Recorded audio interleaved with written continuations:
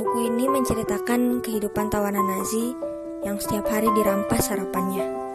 Banyak orang mati, namun kenapa masih ada tawanan yang bertahan? Kisah seseorang yang dapat bertahan di sebuah camp yang mengerikan dan penuh penderitaan. Dari buku ini, aku mendapatkan bahwa hidup bukan sekedar untuk mencari kebahagiaan. Lebih dari itu, menemukan makna hidup adalah jawabannya. Makna hidup yang membuat kita akan terus bertahan seberat apa pun kejadian yang kita alami.